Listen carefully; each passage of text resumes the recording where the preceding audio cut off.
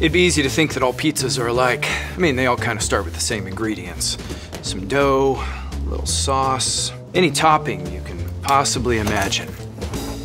So, what makes a truly great pizza stand apart?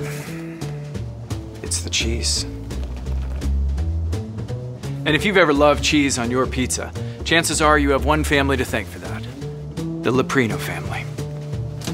And that story starts in Potenza, Italy. The year is 1914. 16 year old Mike Leprino had a dream too big for his small town. He was about to take the biggest risk of his life. He left the old country, bought a one way ticket to Ellis Island.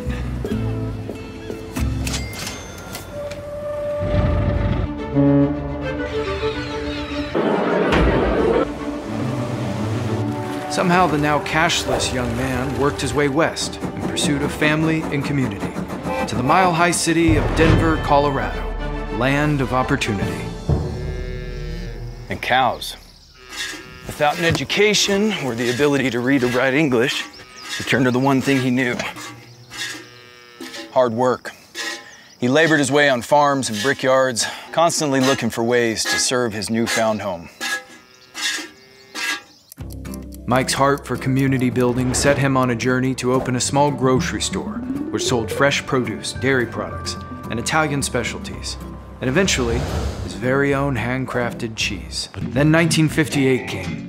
With larger grocery stores taking over the area, the little Leprino market couldn't compete and ended up closing its doors. But as they say, one closed door only opens another. While Mike's son Jim was hanging out with some friends at a local pizzeria, his attention was fixed on one thing the mozzarella. Jim rushed home to tell his father to put their future all in on pizza cheese. And, down to his last $615, Mike listened to his son. He was going all in on mozzarella. The timing couldn't have been better. That same year, the first major pizza chains were opening up all over the country.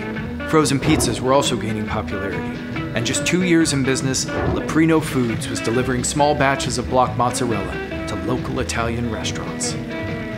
But Jim's keen eye was already focused on the next opportunity, even while the small business grew. Just like his father, had to get creative in order to meet the demands of a hungry neighborhood.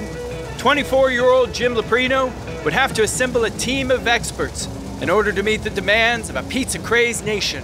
So, Leprino went from being a little shop delivering 200 pounds of cheese a week to using 6% of the nation's milk supply to create over 200,000 pounds of cheese every hour.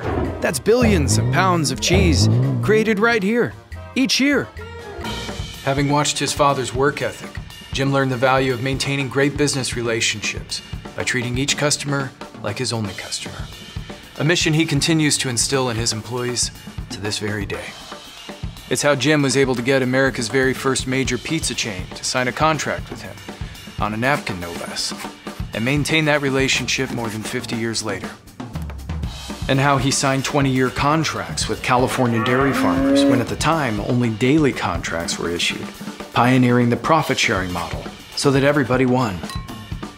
With a lot of hard work and resourcefulness, the Leprino Foods family built a world class mozzarella cheese company that would define the pizza industry around the globe. Leprino Foods became a place where they were not only known for their outstanding mozzarella, but where they would continue to push the limits of innovation every day. Like having the ingenuity to transform whey, a typically discarded dairy byproduct, into a highly valuable nutritional ingredient which nourishes people around the world and ensures that nothing is wasted. Or how they took a typical four week cheese processing time and reduced it down to just four hours or invented QLC, quality locked cheese, where every individual piece of shredded cheese is flash frozen to stop the aging process and to preserve quality freshness naturally. Even more impressive, Leprino owns a vast majority of patents related to the pizza cheese making process. You've ever eaten at Pizza Hut, Domino's, Little Caesars, Papa John's, you've had cheese from Leprino Foods, at least in the US. They supply 85% of the pizza market's cheese, so for those pizza restaurants. They're also a leading supplier globally of lactose whey protein. They've now announced that they are going to enter into a licensing partnership with Fooditive Group. Fooditive Group is a Netherlands based precision fermentation cheese company founded in 2022 they're among a number of startups working on animal free casein. They use proprietary e. coli strains to make casein through precision fermentation.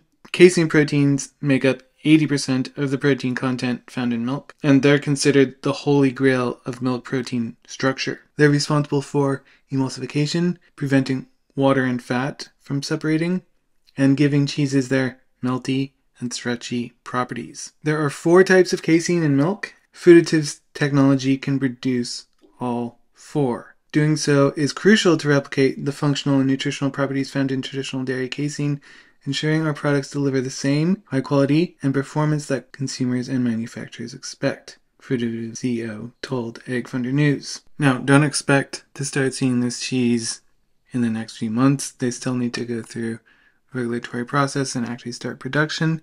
They're planning to do the regulatory work in Q4 this year. Their intent is to produce animal free casein in volumes that exceed hundreds of thousands of tons over the coming years. We will begin to scale up in the tens of thousands of tons in the coming year and expand as the market demand dictates at one of our US plant locations. Super interesting to see that one of the large cheese manufacturers in the US is looking at precision fermentation cheese. Given their customer base, I would probably expect to see some of the fast food chains adopt it first. So we'll have to see how that all goes within the next couple of years. Thanks as always for watching. We'll catch you in the next video.